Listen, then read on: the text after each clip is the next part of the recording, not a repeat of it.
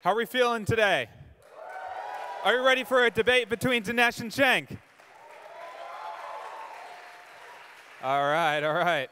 Well, um, we're going to have a good time tonight. That, that I can tell you. Um, so I have the great pleasure of moderating this debate, and uh, we're going to have a constructive conversation. Keyword, the operative word is constructive. Um, but let, us let's, let's uh, bring them out here. First, I want to introduce an award winning filmmaker, an award winning author. He has a new movie coming out, movie coming out called Hillary's America. Give it up for Dinesh D'Souza.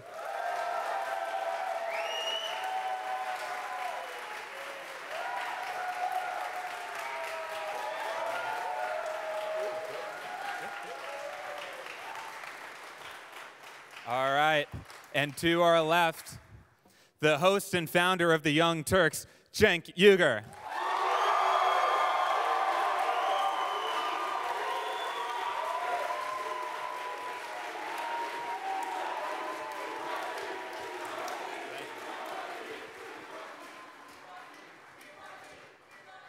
Much love, guys.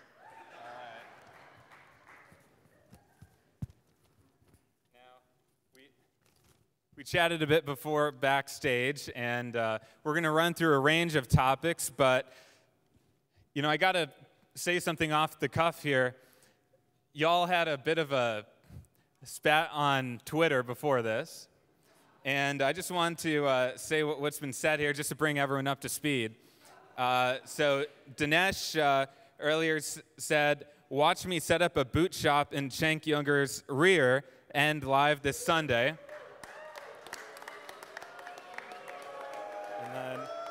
And uh, in response, Cenk said, Wrong, I'll be bringing the TYT army, and I know you've been in prison, but please stop obsessing about my ass. All right, now that we've. Because in the video, he said that I was going to bring a knife to a gunfight. I brought you guys instead. He, he's really going to need you. All right, all right. It's nice to have fans. all right, well, let's kick things off here. You know, one of the interesting things about both of your backgrounds is that you're actually both immigrants to this country. Dinesh, you immigrated here from India, our shared motherland, and, uh, and Cenk, you immigrated here from Turkey. So maybe I'll, I'll kick it off to you first, Dinesh. Tell me more about the immigration story coming here to the United States and how that has shaped your views on politics and policy. Well, I came to the United States um, at the age of 17 in um, the late 1970s. Uh, India, in that time, was a country that had been really governed by socialists since independence. And uh, it was a country where there was almost no opportunity for young people. Everybody I knew was fleeing the country, was going away going to sea, going to the Middle East, coming to America.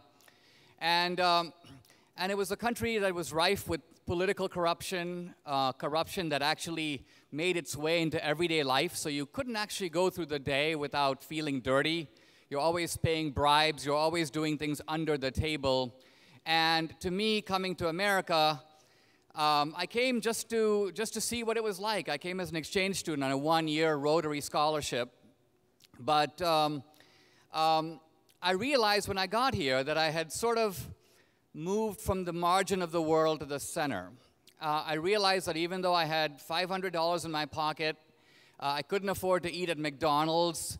Uh, even though I was, in a sense, by myself, my family stayed back in India. I realized that if I stayed in America, I could do things with my life that I would never be able to do if I stayed home. And it wasn't just that I would have economic opportunity.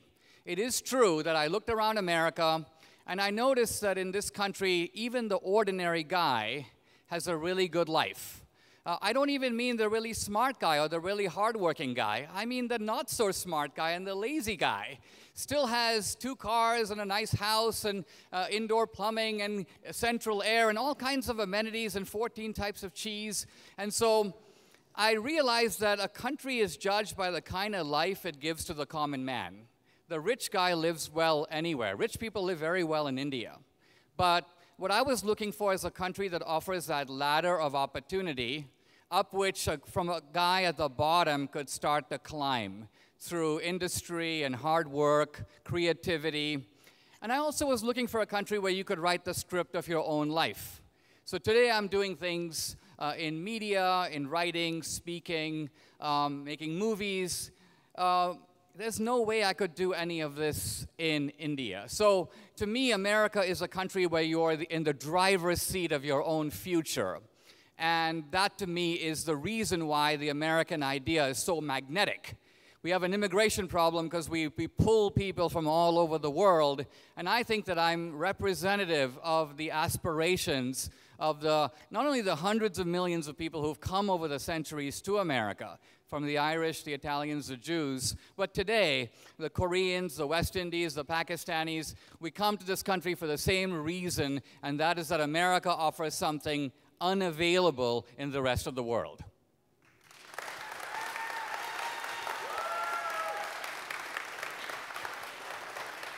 So, you, are right. Our stories start out very similar. Uh, I, I, came to the country when I was eight.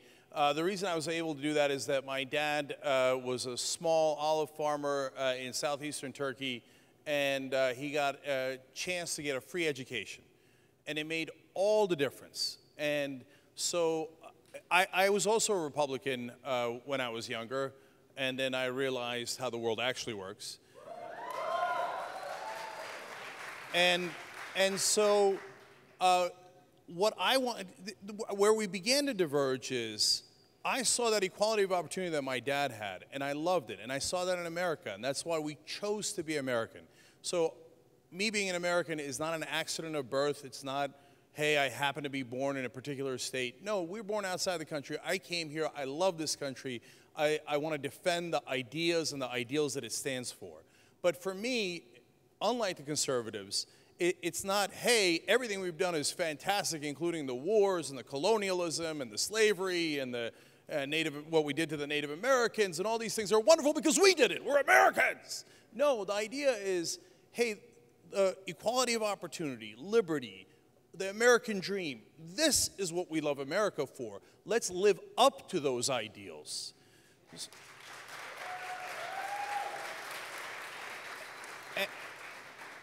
And so, uh, you know, I, I, was a Republican, and then uh, partly because I'm an economic conservative and I believe in balancing budgets. But then in my entire lifetime, the Republicans never balanced the budget. Never. Uh, and so I was a Republican when, when uh, so I think, you know, I'm not a guy who's blanket anti war. I was for the Persian Gulf War. Um, and then we decided to invade Iraq that had nothing to do with 9 11. Well, I'm not for really, really stupid wars. And so,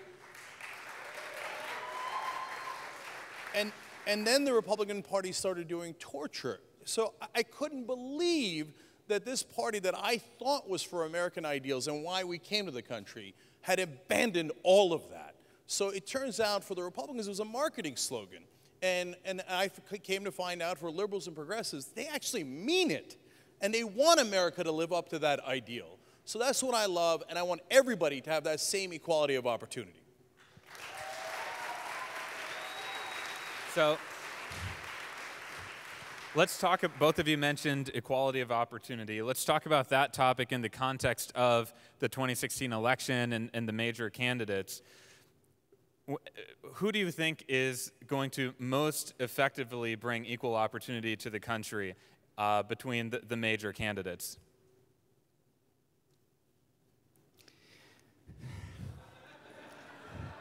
Well, I think we, it's a little difficult to answer your question for this reason. With Trump and Hillary, you have an unknown against a known. Uh, my fear of Trump is I don't know what he's going to do. My fear of Hillary is I do. Um, so,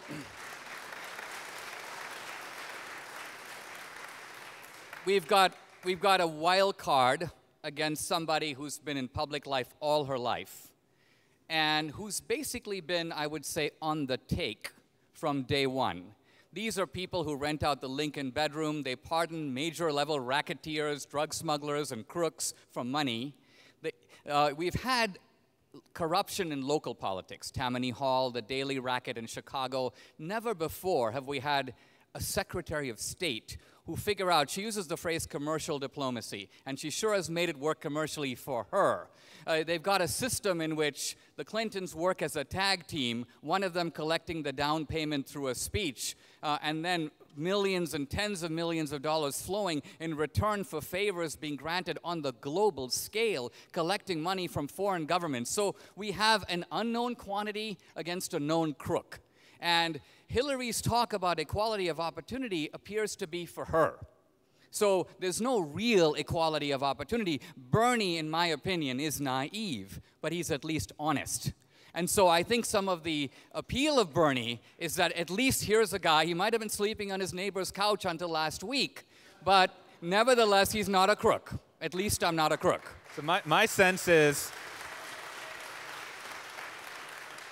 My sense is, Cenk, you don't disagree with all of that, and uh, you endorsed Bernie in, in the primary, and uh, you've also been very critical of Hillary. So I'll pose the same question to you, but it's interesting. There, there is some agreement here on, on this topic. There is some agreement, but there's also disagreement. So, so let me go one by one. We certainly agree that Bernie Sanders is uh, totally honest, and, and that's why everybody. Uh, uh, all, I, sh- I stopped myself because I shouldn't say everybody, but a lot of people obviously recognize that and were, were behind him, and, and he's not part of the same corrupt system. Uh, Hillary and Donald Trump are part of the corrupt system in, in, in, as counterparts. It's actually a perfect symmetry. Uh, Donald Trump brags about how he used to corrupt people, how he would give them, in essence, legalized bribes, and then the Republicans look at that and go, that's awesome.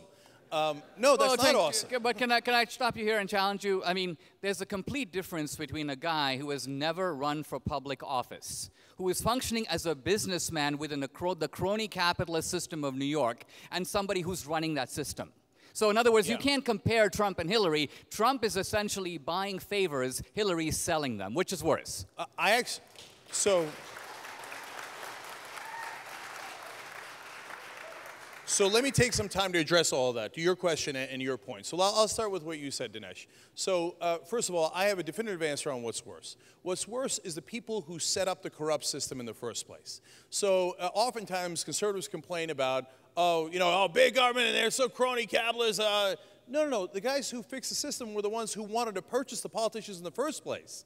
So it's not like, oh, golly gee, I, you made me purchase a politician and I made 24,000% rate of return. Oops.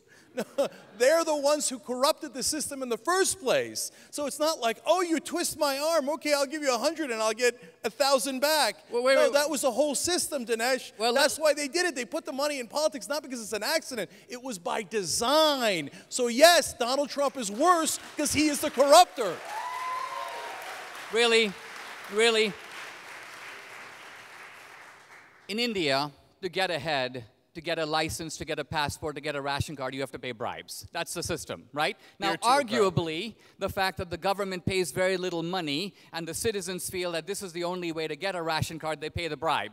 So, in that sense, they set up the system. But who do we hold accountable? The ordinary guy who can't get sugar from the store, or the guy, the guys in government who have been elected and entrusted by the people to look out for their interests? We elected Hillary, not Trump. No, so let me just say for the record anybody who watches the Young Turks knows we're, we're, we're no fans of Hillary Clinton or the system. We can't stand it, and we're not in favor of. we're not in favor of the establishment. We're not in favor of the corrupt system as we have it now. And I know that a lot of parts of the establishment wants to protect itself. I understand that. But Dinesh, you have to go to the root of the problem. And the root of the problem is, who, he, and, and I can trace it exactly to you. In 1971, um, uh, there was a person who wrote for the Chamber of Commerce. His name was Lewis Powell. He wrote a letter saying, hey, you know what? The Chamber of Commerce can go buy different things. We're not buying enough things. We can go buy education. Let's go and, and uh, chair uh, different professors at different universities so that we can strike back against liberals. And one of his brilliant ideas was let's go buy the Supreme Court. Let's give money to politicians so that they will allow us to influence the Supreme Court. You know what Richard Nixon did? It's like, that's a brilliant memo, young kid. Lewis Powell, you're now on the Supreme Court. And then Lewis Powell was the deciding vote in two Supreme Court decisions in 1976 and 1978 that said, yes, corporations are human beings. Yes, they have speech rights. Yes, they can spend money to bribe our politicians, which is mental. There's not a, raise your hand. Raise your hand if you think a corporation is a human being. Okay, I got three hands here. They must be with you, Dinesh. Okay. Well, so that is how they bought the system lock, stock, and barrel. And then you turn around uh, to, us, uh, to politicians who are in this systemic corruption and you go, it's your fault. And then you go, the business guy's buying them. Don't look at them. Don't look at them. They're the problem. They're both the problem. And you're only looking at one side of it. All right. Number one,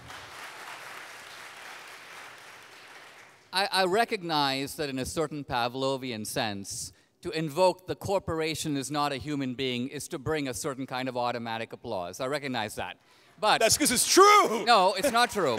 as anyone, as anyone who goes to law school knows, to say a corporation is a human being is not to say that a corporation has lungs and can breathe and can be murdered in the same sense a human being can, but a corporation is a human being in certain defined legal respects. So, human beings can make a contract in which I hire you, you agree to come work for me. Are you telling me corporations should not be able to make such contracts? I can tell you exactly what I'm saying. So, let me explain.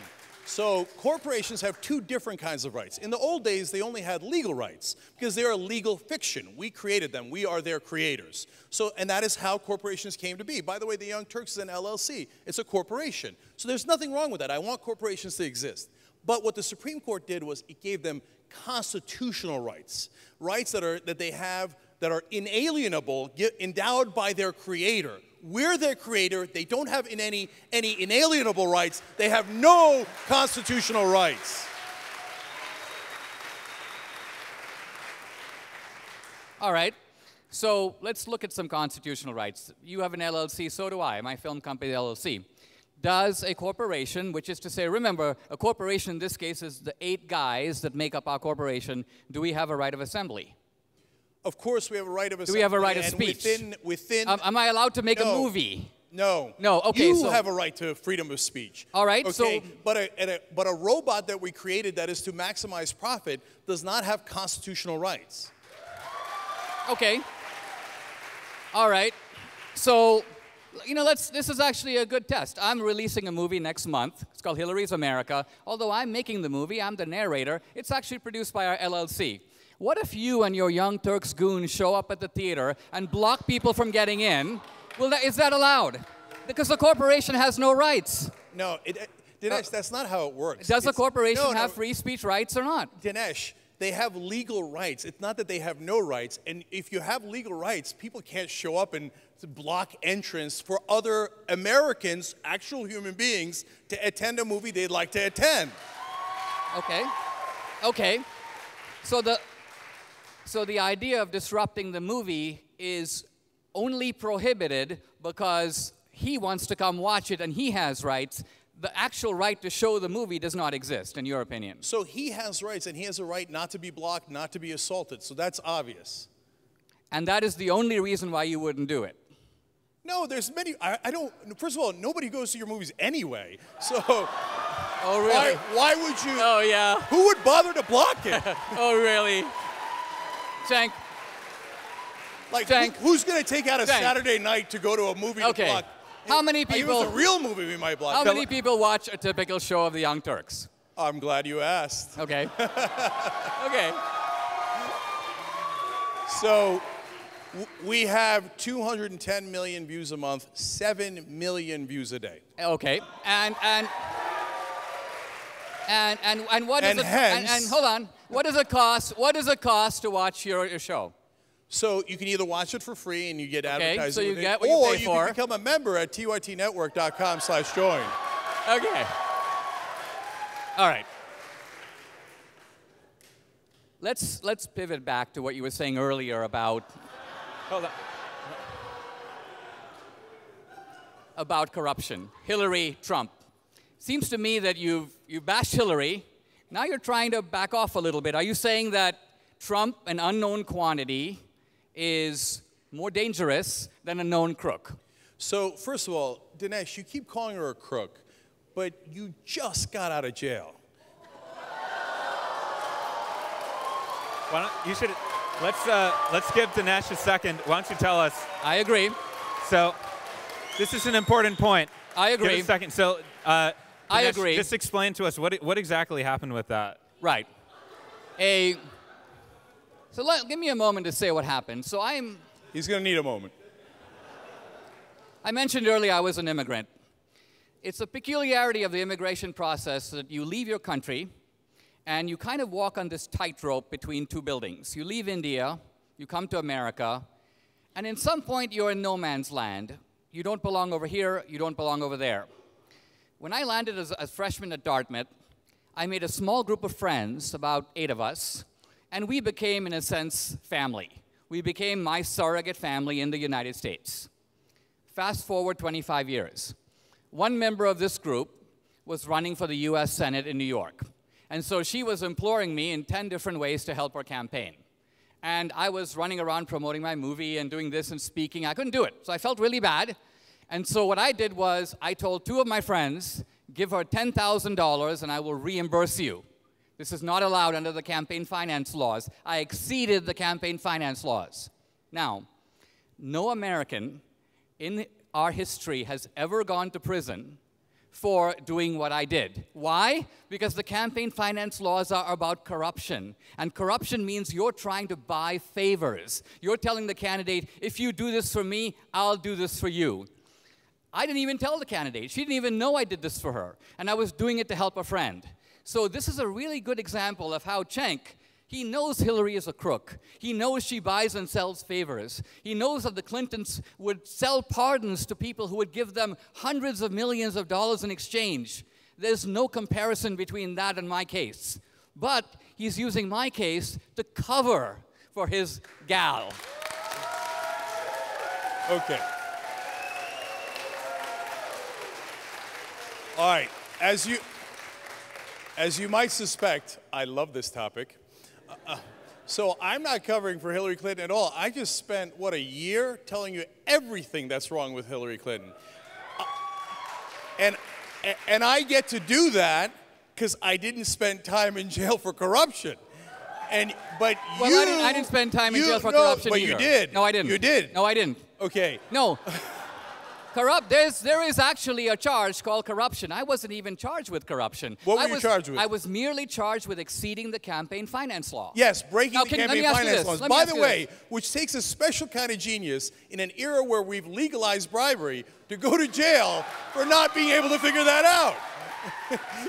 That's right. And, and and what does that tell you? The fact the fact You didn't do I it very well. That's the- what it Right. tells The me. fact that I do something unbelievably stupid, right? Agreed. And the fact that the Obama administration puts dozens of FBI agents on me, goes through my tax returns, reads all my books, this is- suggests that this is not a simple matter of this guy did something super dumb. People who do, who do super dumb things without trying to be corrupt don't go into the lockup. You know this. So, let me ask you, have this. all these conspiracy theories, but you know who else has a dozen FBI agents pursuing her? Hillary Clinton.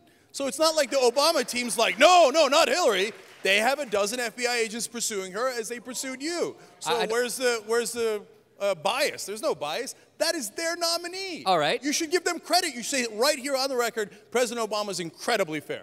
Let me ask you this. Well, if, if my crimes were proportionate to Hillary, it would be fair.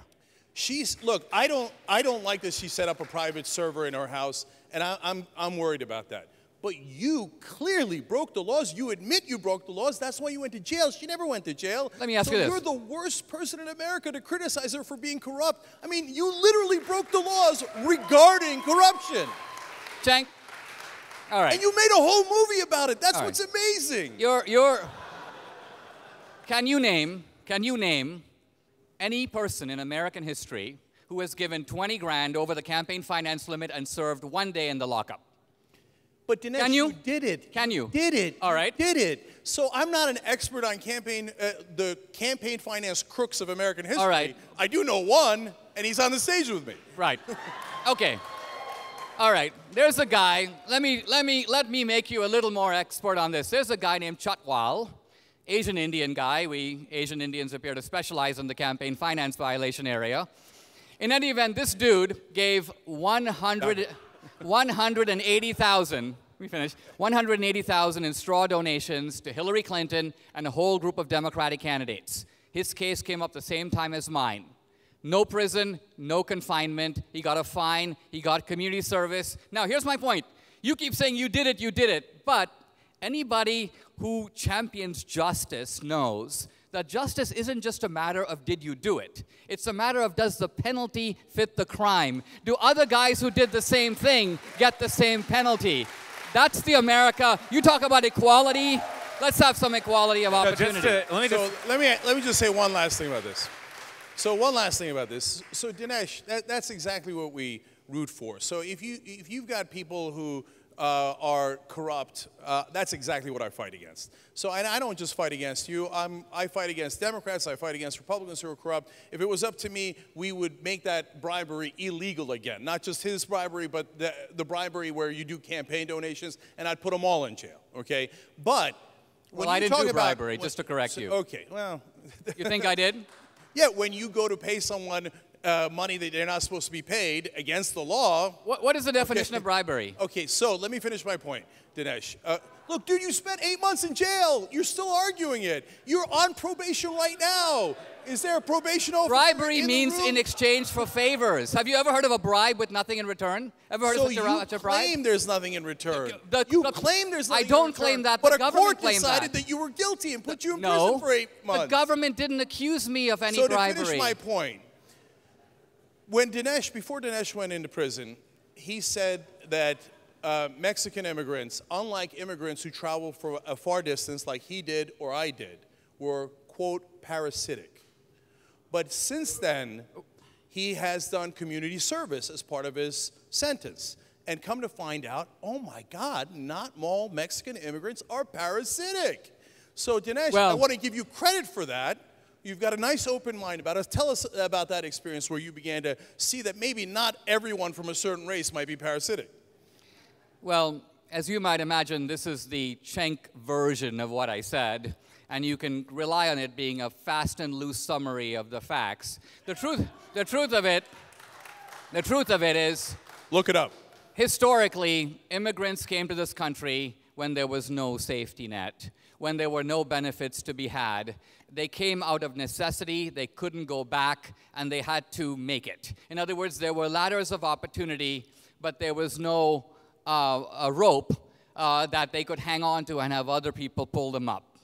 What makes our situation different today is that we now have a massive welfare state. By the way, a welfare state set up by Americans for Americans. A social contract is among the citizens who are already here. There is no automatic right of someone who is not a citizen to claim benefits that Americans have collectively pooled for themselves. So, my point my point is, America should have a generous immigration policy that attracts immigra- immigrants of the first stripe. If an immigrant is coming here to sit in a hammock and get free education, free healthcare, free this, free that, then stay home. Then stay home. so just to close the point here. Um, so First stripe. Am I first stripe? I feel good about that, I guess. So, Cenk, as we think about this uh, f- general election, are you going to be endorsing any of the candidates, or are you going to write in someone, or what's the plan? No, I- never even technically endorsed Bernie Sanders. Everybody knows that I support Bernie Sanders because I support his policies. We're very honest about that. Um, but my job is to analyze the news. So when, it, when Bernie Sanders I thought was wrong about gun policy, I talked about that. When I thought he was, uh, for a brief moment, being hypocritical about superdelegates, I challenged them on that when he was on my show. So uh, I will challenge Hillary Clinton uh, throughout the election. I will challenge Donald Trump throughout the election. And I will hear out all of the candidates Gary Johnson, Jill Stein. I'll hear them all out, and we will cover the news fairly. Now, And, and same, same question to you, Dinesh. Are you going to support one of the major candidates? Well, I'm, um, I'm going to support the Republican candidate uh, over the Democratic candidate. And uh, I didn't take sides in the primary, but I want to pick up on something Cenk said earlier because it explains my answer. He said earlier that we want an America that doesn't hide from America's dark history. He goes, America has done terrible things uh, to Native Americans, to blacks, slavery, segregation, and so on, and we don't want to conceal this history. Uh, I want to invite you to go see the movie next year, uh, next month. Uh, here's why it actually makes a startling argument. It argues that all these terrible things were in fact done in America, but they were not done by America. If America collectively did all this, it would never have stopped. So obviously, some Americans did it, and other Americans stopped them. Hold on, let me finish. Now, the truth of the matter is that the Democratic Party in this country, historically, is the party of slavery, the invention of the positive good school of slavery that purported to show that slavery was good not just for the master but also for the slave. At the end of slavery, the Democratic Party invented segregation and Jim Crow. It was a Democrat and a delegate to the Democratic Convention who founded the Ku Klux Klan in Tennessee. And for 50 years, the Ku Klux Klan was the domestic terrorist arm of the Democratic Party. The Democratic Party also went into eugenics and forced sterilization. In the 1930s, a young JFK went to Nazi Germany. He wrote about Hitler in very positive terms, saying, This guy has been misunderstood. People are jealous of him.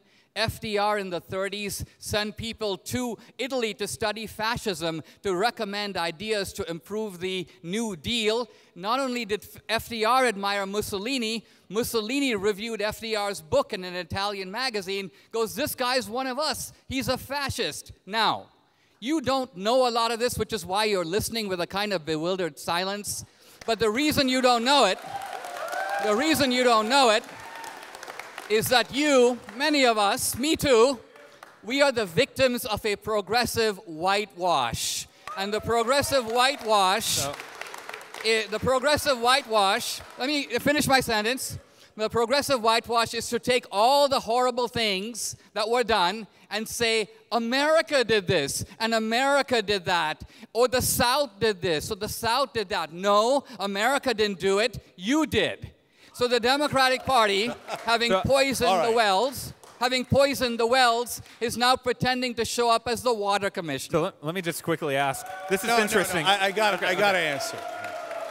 Okay. So, Dinesh, this is part of the reason I want to do this because just like with Ann Coulter last year, I really want to know uh, if you're on the level or not. All right. That's what I'm curious about. Because do you n- not know about the 1964 Civil Rights Act? Do you? Do you not know that the Democratic Party, through, led by Lyndon Johnson at the time, risked uh, the, losing the South for, for decades, which they did, to pass the Civil Rights Act, then the Voting Rights Act, and that Nixon proudly took on the Southern strategy, which was now admitted by two different chairs of the RNC to be a racist strategy to get racist whites. And that's why now the Democratic Party, which used to be conservative, and the Republican Party used to be liberal under Abraham Lincoln, have flipped, and the Democratic Party is liberal, and the Republicans are conservative. So hold on, and I'm, I, I, I mean, I'm not anywhere near done. So you say FDR and Mussolini said some nice things about each other like decades earlier. I don't know if you know this. They later went to war against one another. So and after you have the a war, history of telling only half the story in a preposterous, comical way. Okay. All right. I, I, think we're getting to the heart of the issue here, so if you don't mind, let's engage a little bit about it, okay? Oh, I love it, yeah. Let's All right. Let me just add one thing where I think you both agree on, which is the Republican Party used to be the progressive party in America. I don't think that's a secret. I mean, that's well, the Republican Party. What the Republican Party was the champion of emancipation, anti-segregation, lynch, anti-lynching laws, and so on. Right, I want to talk about the civil so rights. So you liked them when they were progressive? No, I wouldn't say that's progressive because, no. I'm pretty sure that's progressive. no, no, no. The the progressives, the progressives of the time were into social engineering, eugenics, forced sterilization. So this is a disguise. The progressives later and claimed the, the mantle. All right. And freeing the slaves, just as an FYI. The progressives freed the slaves. Progressives, progressives wanted to free the slaves. They were in the Republican Party. Yes. No, they were not. The, the term progressive was invented in the 20th century. Conservatives like the way things are. They wanted to keep their tradition and So was Abraham Lincoln a. Republican? he was a Republican and a progressive. I know it's hard for you to understand. Yeah. The parties switched. That's Okay, what let's- he's asking you. that's- no one else in the country disputes that other than you. No, I do dispute it. Let me ask you this question. Who, you mentioned the Civil Rights Act of 1964. Did more Republicans in proportion or more Democrats vote for the Civil Rights Act of 1964? Answer yes, which one? Which So- party voted in greater proportion for the Civil Rights Act of 1964? Great, let's do it. Which one? All right. Do you know? So, so I believe You that believe the you guy know. who pushed for um, the Civil Rights Act was a guy named Lyndon Baines Johnson, who was most clearly a Democrat. And, and at that point, the Democratic Party had a lot of racist conservatives in it. It's true.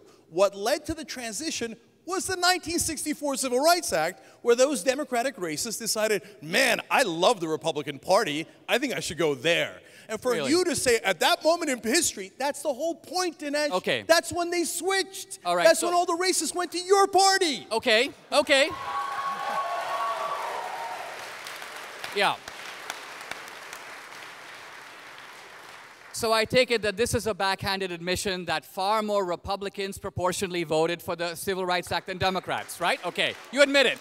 You try to camouflage it, but you admit it. Now, you say that that's when they switch. So let me ask you this. We had the Voting Rights Act in 1965 and the Fair Housing Bill in 1968. Let's take the Fair Housing Bill. Did more Republicans or more Democrats proportionally vote for the Fair Housing Bill? Which one? So, Dinesh, here's, let me try to, again, let's try this one more time. So, Republicans were more progressive. They were the progressive party, so they would push for things that were progressive until those events in that exact time period, Dinesh. And then a lot of them thought under Nixon, and he wasn't president yet. And when he ran, he said, Hey, I got a great idea. Let's get all those racist Democrats to join the Republican Party. Let's run on racism. And you know what they did? They then went on a campaign through Nixon to bring all the racists in the Republican Party, which I'm not admitting. The head of the Republican National Committee, two different heads of it, came out and gave a speech and said, Yes, we transitioned into racist, and that was our strategy. Really? You to try to deny that I- well, is insanity. Is it really? Let me you ask think you the. Democrats okay. are more racist now? By the way, No, let me hold give on, you, hold on, hold let me give you one piece of context. I got to give you context. I just wanted to show- you wrote a book saying that that slavery wasn't about race in this country. You wrote a book where you said black people should give white people reparations for No, uh, for liberating them.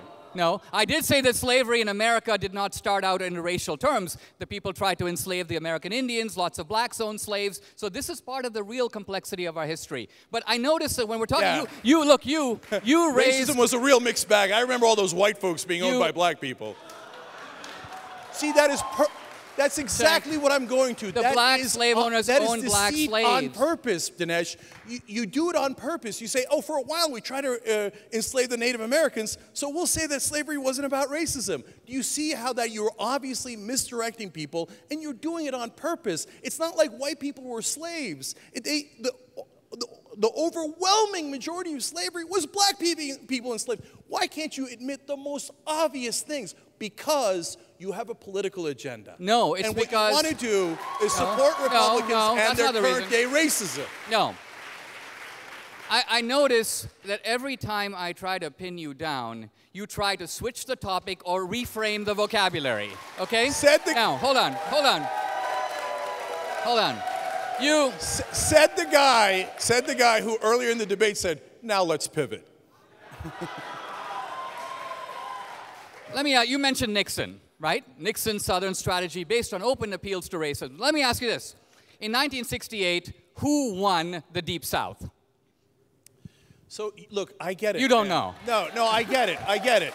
No, no, his whole oh, whole do you know? His whole shtick is during the transition when we were trying to get the racists, we didn't have them all. I win. Transition. You said it was. You said it started in '64, and you said Nixon was the epitome of it. Nixon was elected in '68, and I'm asking you who won the Deep South, and you have no idea. The Democrats owned the Deep South They for owned the Deep decades South. and decades. Okay. They lost the South. They lost the South because Nixon began that campaign of the Southern Strategy. And Pat Buchanan on MSNBC admitted to me, yes, we ran it for 40 years and we had a good ride.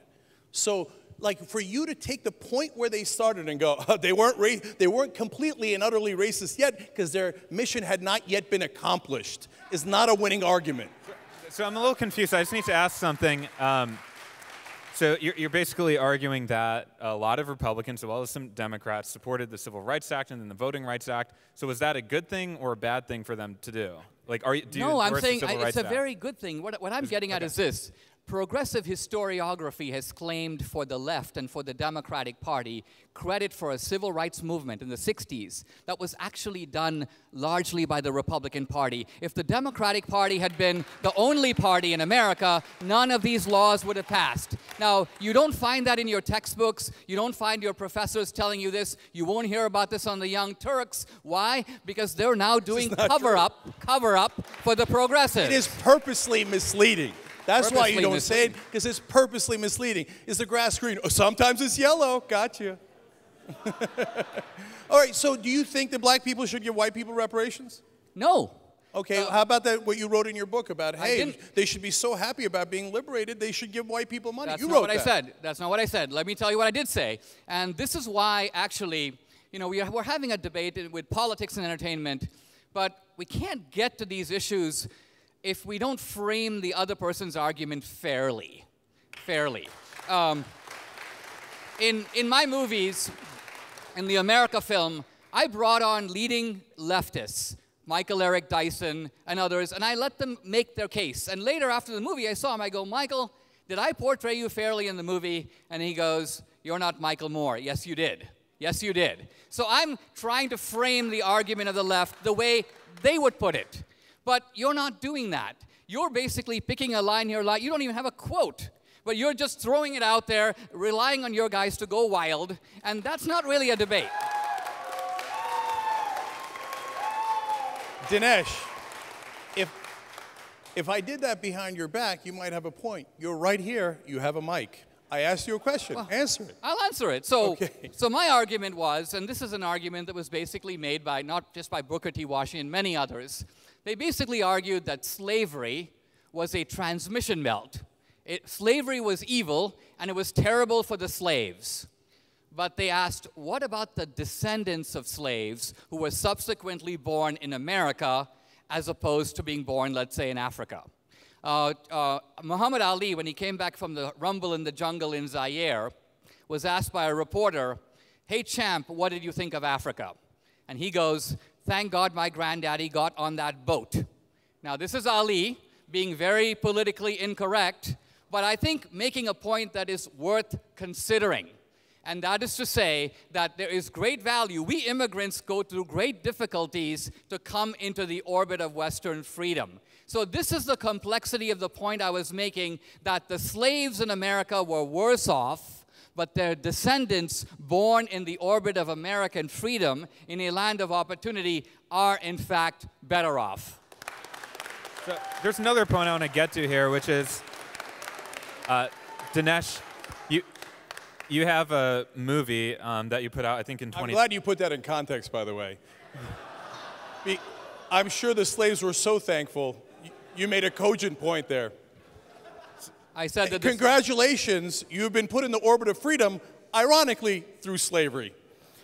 Hundreds of years of slavery. That is a curious orbit of freedom. Think. Don't worry though, your great grandkids one day might be free after I whip you, I own you, I kill you, I separate your family, I rape your wife. After all that, your great grandkids might be in the orbit of freedom. Why, thank you so much.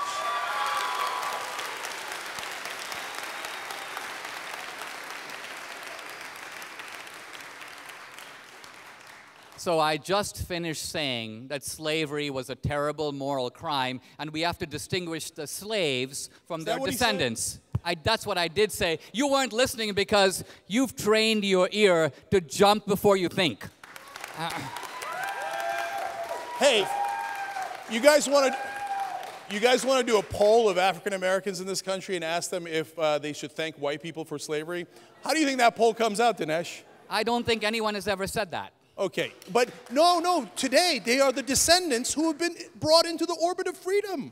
There so were- according to your were- logic, they should be incredibly thankful. There were- Let's there do were- a poll. Let's Hold- find out. hold on a do second. you really believe these things, Dinesh? Shank- Or are you trying to get paid by right-wing guys who are paying you to say this nonsense?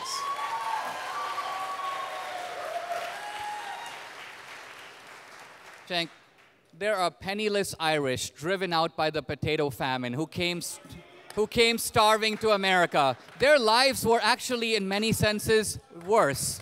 But their descendants, born here now in America, obviously enjoy freedoms that their ancestors didn't have. So I don't understand why you are. I mean, I don't know if you're being vile or being stupid, but it looks to me like you're. It's some. It's some bizarre combination of the two.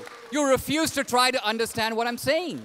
No, I think I got it. You got it. Yes. I think you got it. Uh, and At least and to the so degree then let me ask you about another book you wrote where you said that 9/11 was because of Planned Parenthood, Nancy Pelosi, and Brokeback Mountain. Really, really. That's what I said. Yes, Maybe and that you it can was. clarify. Go ahead, clarify. That's what you have a mic for. Sure. Go for it, big guy. Yeah. How about it, Hoss? So in my book, The Enemy at Home, in my book, The Enemy at Home, I raised the question of when you look at the propaganda of the radical Muslims, what are the themes that they emphasize to recruit on the Arab street? And I said, you see foreign policy in there, you see Palestine, you see Saudi Arabia, but many of these guys aren't in Palestine or Saudi Arabia. They're in Pakistan, they're in Egypt. So what attracts them to the radical Muslim cause? I said, this whole notion of America as the great Satan is, a, is an attempt to capitalize on the values of Hollywood that are projected abroad. Now, here, here we have to realize we're not just talking about radical Muslims. Throughout Asia today, there is a slogan that's gathering currency. It's called modernization yes, westernization no.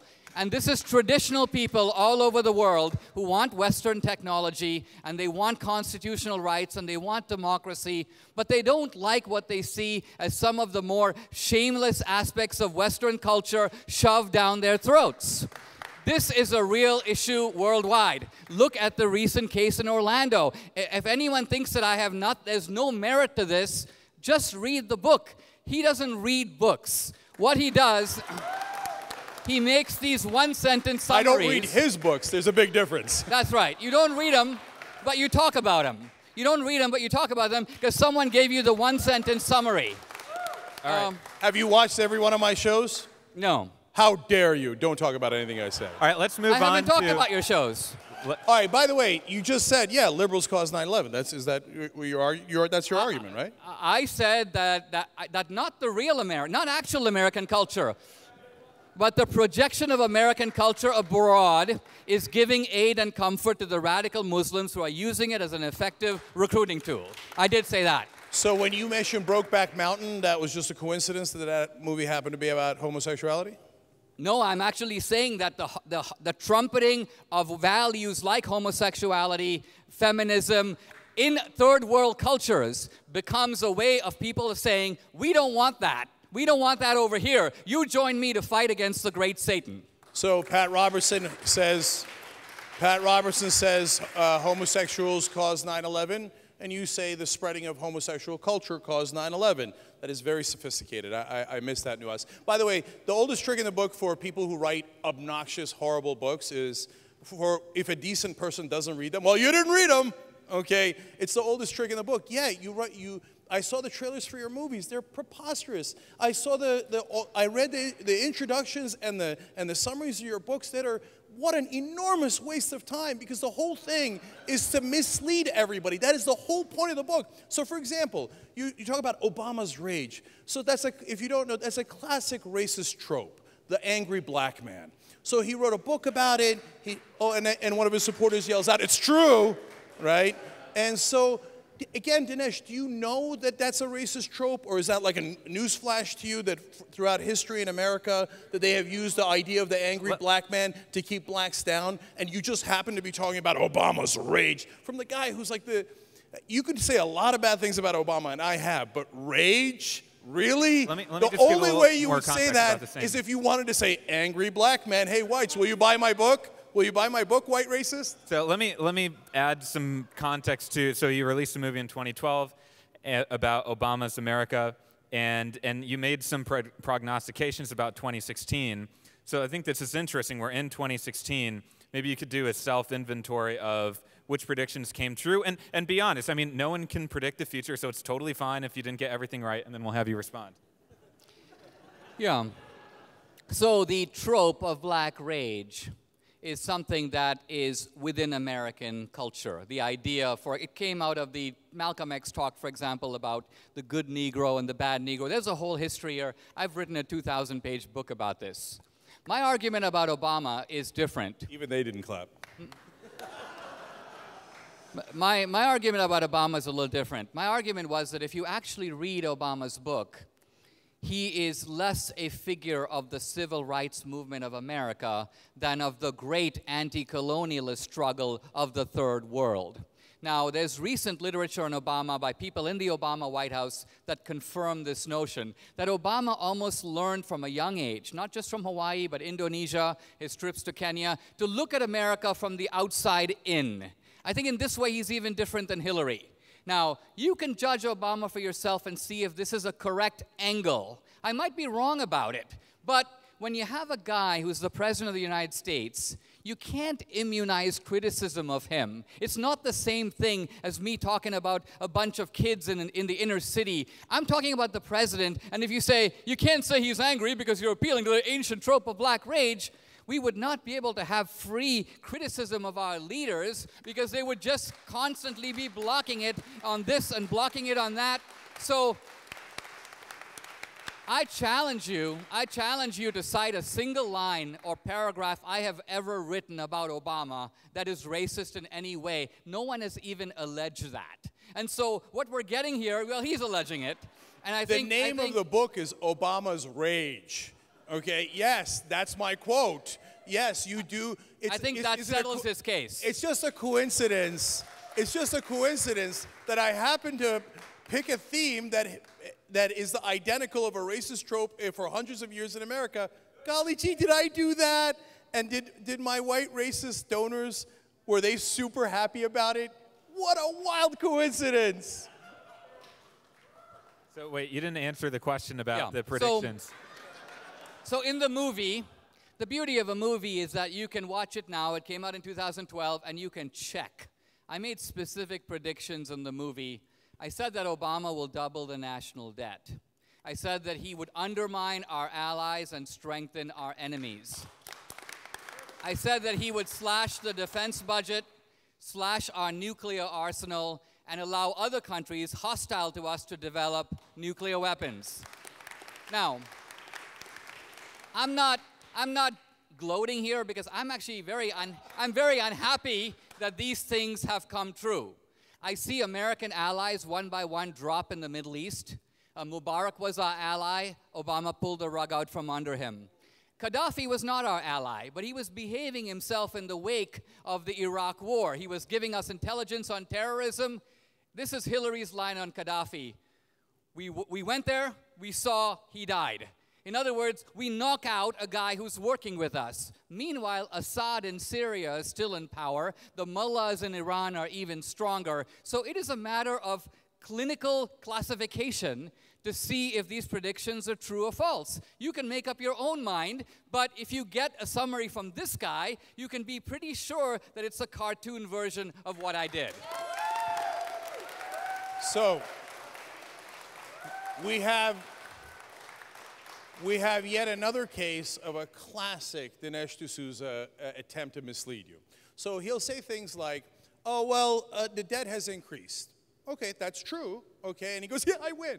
Okay, no. Let's look at context. George Bush, who was given a $5 trillion surplus by Bill Clinton, then handed off a $1.5 trillion deficit which Obama, throughout the years, cut in half. But they don't tell you that. They don't say, hey, Thank- my thanks. God Okay. sucks at balancing the budget. Hold on, hold he on. put that in Obama's lap, and then, oh my God, Obama, look at his deficits. Given to you by George W. Bush. No, no, no. I, I notice. I notice. I notice a very cunning slide from the concept of the debt, which is an aggregate of our of our obligations to the deficit, which is an annual total. Very the kind. deficit But- leads to the debt, Yes, it does. So let me ask you this. and you guys created that deficit, Really? which led to that debt. All right. What were the average deficits in the eight Bush years?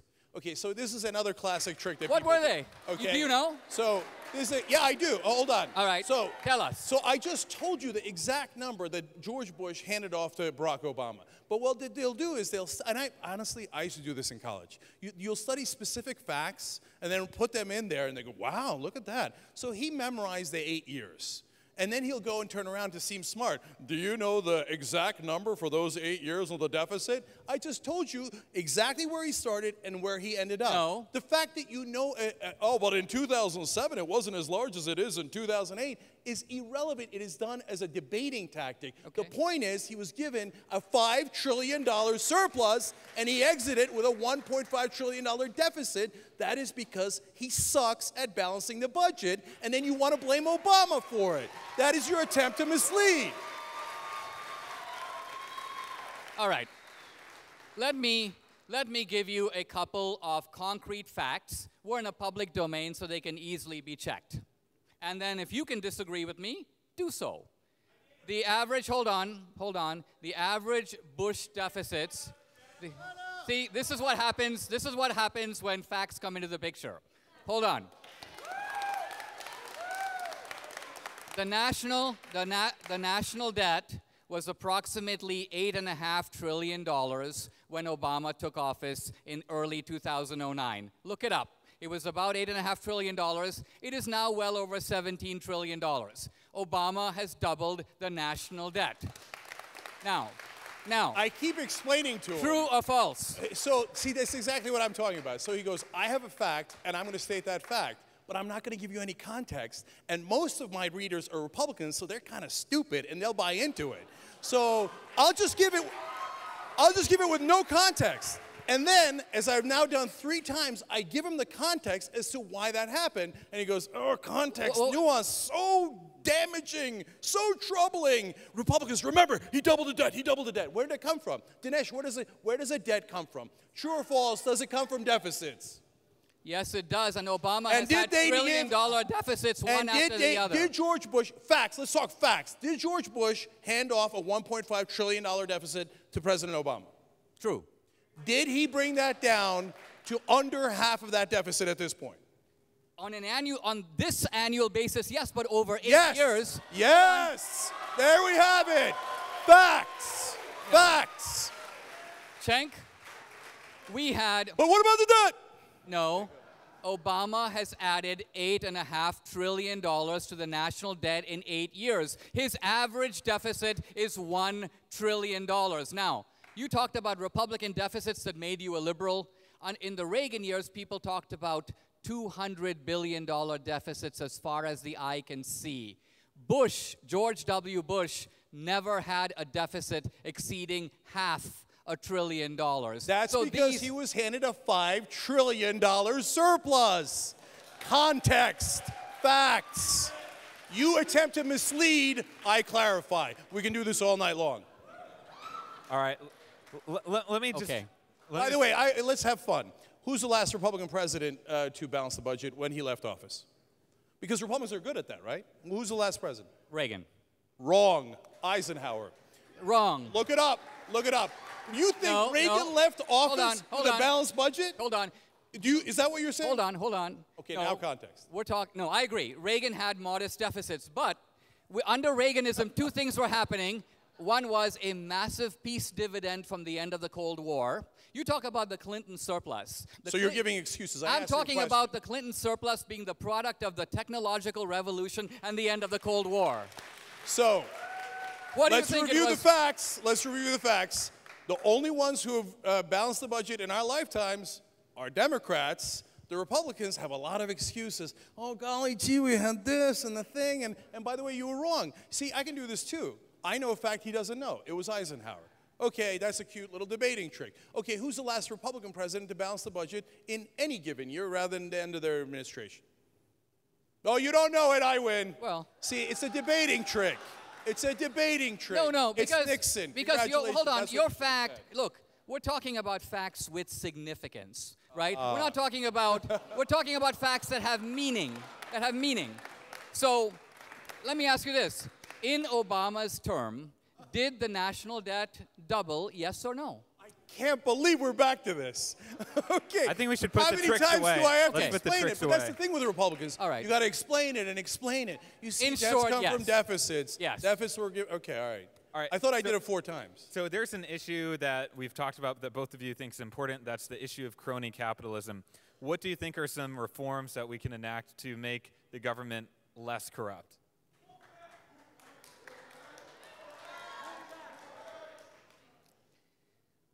Crony capitalism, I think, is the result of the fact that the federal government has not only enormous power, enormous power over the private economy that it shouldn't have, and therefore, when it comes to simple things like getting a permit, building a bridge, there's a guy who's making a modest salary who makes that decision. So people come around, various people who want to get that contract, and they make deals with him, right? This is the deep corruption of our process. The founders had actually a very good solution to it, and that was reduce the power of the federal government to control so much of the economy, to control oil drilling and education and healthcare, and that's going to make it less possible for corrupt people who are in politics to be so corrupt, and it's going to reduce the incentive of, of people in the private sector who should be competing with each other to compete with politicians like Hillary to put money in their back pocket. Okay, I love this. So let's break this down. So, first of all, Republicans have a talking point. Uh, uh, we're against big government. Okay, great. You're against the uh, giant military, the largest government program we have? No, no, no, no. I love that big government. Um, okay, great. Uh, you're against uh, intruding uh, on a woman's right to choose and getting between her and her doctor. No, no, no, no. I love that big government. No, I love that big government. I love a government so big it's in your ovum. Okay. So why do they do it? So here's the interesting part. Why do they do it? So it isn't because they're concerned about big government. It's because they want lower taxes and less regulation. So that way they can save money. They can save money if they have less safety features in their mine, but your family might die in a mine accident. But they saved a couple of bucks with a talking point about smaller government. And look, any tiniest little change in the tax code gets the rich billions of dollars. Why do you think they do the crony capitalism in the first place? Why do you think they send Dinesh out with his talking points? So that he can Thank- convince people, me let's go smaller government, by which I mean less taxes for me and less regulation so I can take more risks and do more pollution. Notice the question was about controlling corruption in the political process, i.e., buying politicians. He didn't have anything to say about that, so he switches and starts talking about mining accidents, Great. which are not the subject under discussion. Great, let's do it. Thank you. So, now you want a real answer. So, I'm telling you what the problem is, and I'm telling you uh, how they're trying to mislead you to get the rich even more benefits. By the way, you want to talk about welfare queens? Uh, the capital gains tax leads to, there's no reason why it should be lower than the tax that you guys pay. But if you're in the highest bracket, you now pay around 39%. If you have capital gains, you only pay 20%. And they go, that's for everybody. No, it's not. It's actually only 47% of Americans have money in the stock market. That is, it goes to, ironically, the 47% who are welfare queens. And of that, only uh, the, the 5% gain two thirds of all the gains from capital gains. You know what that costs us? $51 billion a year. So they are the welfare queens, and now let me explain to you how we're going to stop them. So, we, the way that you stop the legalized bribery and the corruption is you say, hey, the money you are using for that bribery, you cannot give to politicians anymore. You cannot give into the political space anymore. So I'm going to unlegalize bribery. So what you do is you get money out of politics. And I've created an entire organization for this. All right, So let me reply. Wolf, by the way, you asked if I'm doing anything about it. It's called wolf-pac.com. Go sign up right now. Just Get money out of politics and end the corruption. you agree with me, right, brother? Look, So Watch. I think. By I the think- way, this is great because this is the guy who got arrested for putting more money into politics. yeah, yeah. We, Do you, do you agree, Dinesh, that the, there is some corruption and bribery in the campaign finance system? I totally do, and I think that the, fa- the campaign finance laws exist to to get people who are buying favors. Now, people are buying favors all across the political process, and the, the queen of this is actually Hillary. Now, she, let's say we pass Cenk's law. You can't bribe politicians by giving them money. Now, the Hillary setup is far too cunning for a guy like this. Hillary's setup is if you want a deal, don't talk to me, talk to Bill. Bill will come and give a speech for 20 minutes. You pay him $750,000 more than double his normal speaking fee. That's your down payment. Then, without me ever talking to you, I will do what you want. Then you give the Clinton Foundation $33 million. This is what's going on. And this is the politician that he's covering for while pretending to be the champion of stopping the corruption of the process. See, he says that, but you didn't watch my shows, did you? I don't cover for that. In fact, I cover that all the time. Well, you're covering for it tonight. No, I'm telling. I was in the middle of saying about how corrupt the Clinton Foundation is when you interrupted me. Okay, So let me ask you this. That's exactly my point, guys. So it is. It is. He, what he's talking about is right. They do. They, eh, they, that's why the Bernie Sanders campaign said, "You think that Goldman Sachs is paying Hillary Clinton two hundred twenty-five thousand dollars for their health? No, they're looking to corrupt her. They did that three times, six hundred seventy-five thousand dollars, millions upon millions King. going to Hillary Clinton, going to Bill Clinton. Okay, any- so so my any- point. But Dinesh, Can it- any yes, they can they can do that, Dinesh. But if if if if Wolf PAC wins and we get that constitutional amendment, you're going to have public financing that says yes, Hillary Clinton, you can have that corruption, but we are going to have an even debate. So you will have X amount of money, and your Republican counterpart will have X amount of money, and we will hear you both out without you one of you buying a larger mic. Right. So this this is exactly what Hillary says. I call it the stop me before I steal again principle. Hillary says, I would like to be honest, but we are in a dishonest process. And therefore, my dishonesty is simply playing along with the system as it exists now.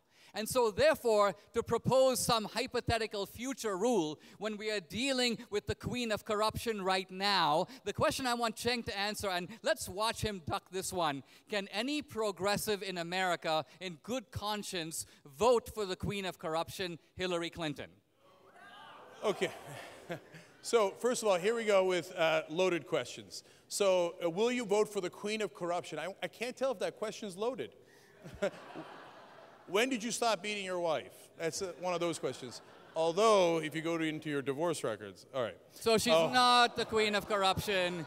This is what I mean by covering for. her. She's not so, the queen no, of no, no, corruption. no, no. So I'm going to tell you. Look, when you get the general election day, and I get a ton of criticism from Democrats for this. General election day is the least relevant day. Primaries are more important. Fixing the system is more important. Getting a constitutional amendment to get money out of politics is more important. But when you give me a, a, a person who I think is systemically corrupt and a monster who is racist, bigoted, and has no earth earthly idea what the economy is about and might crash the entire global economy. And then if I vote for the person who's systemically corrupt, and you go, ha ha, I got you. No, you, I, no, you didn't get me. You nominated a monster. It's your fault, not my fault. Let me, uh, we're, we're coming to the close of our time here, so I've, I've one last question. Uh, can I just get him on the record in the same way, but without it being loaded? Are you for getting money out of politics? I would like to see politics. Look, to me, the problem with po-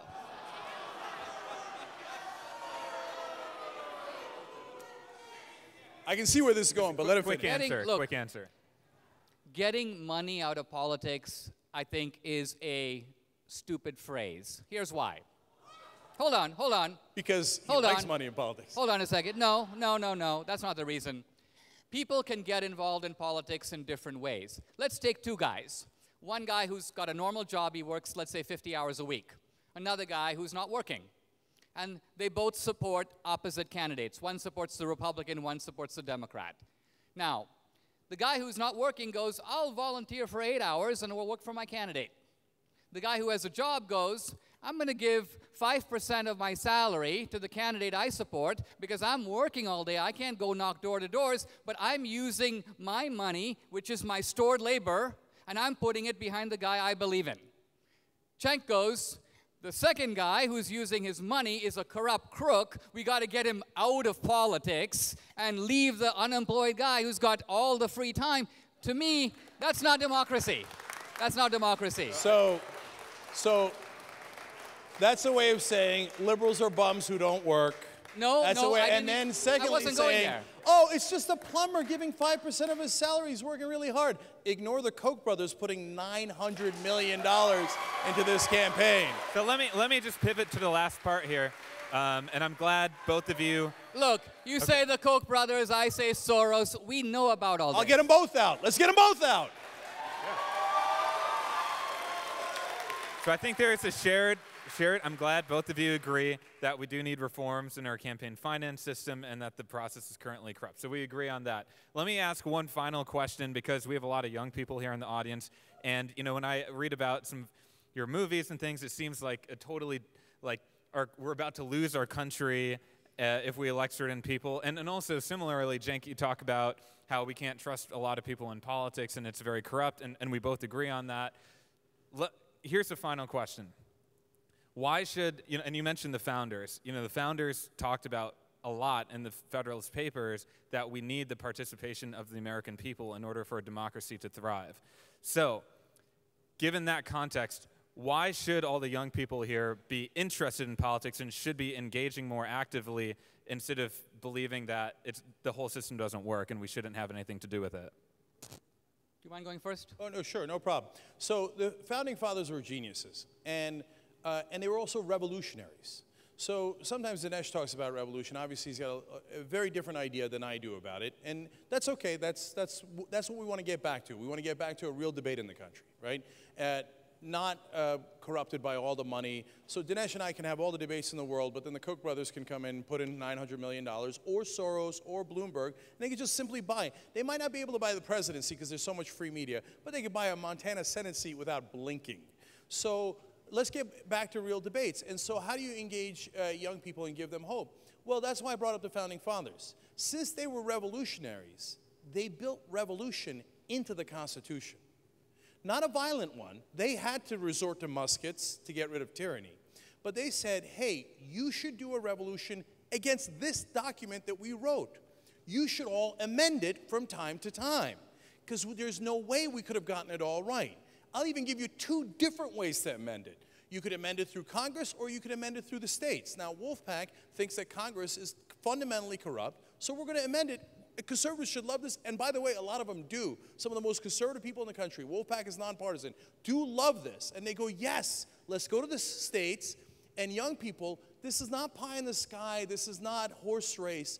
This is real systemic change. And the beauty of it is we can all do it together, and we can even get liberals and conservatives to do it together. Let's do that revolution. That's exactly what the founding fathers wanted us to do.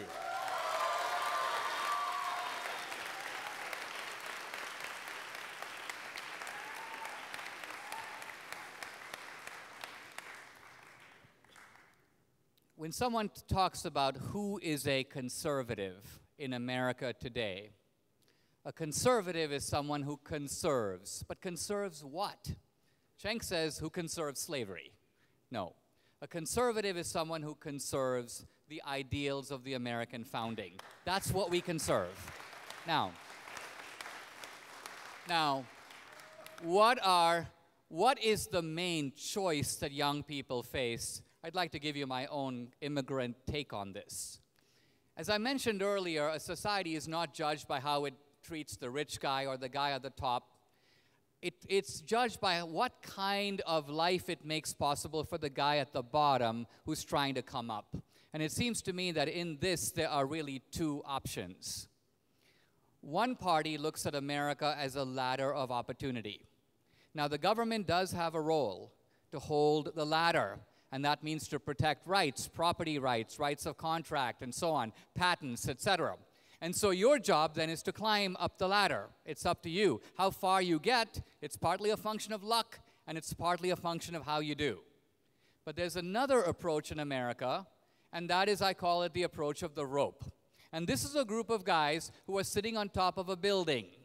They don't really believe in ladders. Their point is that ladders are illusory. They say, we're going to let down a rope. And we're asking you, little guy, to hang on to the rope, and we will pull you up. Now, on the face of it, that's more appealing because you don't have to climb, you just got to hang on. But you have to remember that the rope is very precarious. You're at the mercy of the guy holding the rope. If he decides to let you go, down you go. And second, you will never have that satisfaction of earned achievement of knowing that you did it because you didn't do it, someone else did it for you. So the real difference, it seems to me, is over whether we as young people, as Americans, do we want the ladder of opportunity or do we want the rope that I think all too tragically has for many people become a noose? Thank you very much.